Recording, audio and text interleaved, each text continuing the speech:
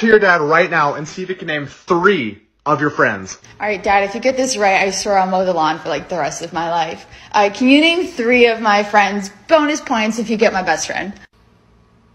Mom, what about you?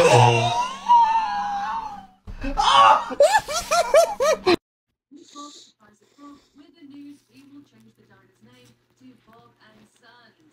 But Bob says no to his father because he's impossible to work with. Its argument ends with Bob saying he'll start his own restaurant where he his father. Teen to early adult.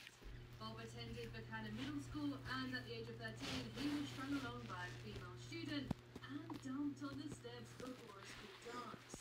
Bob was See? encouraged to play during work I think we're doing or something. Okay.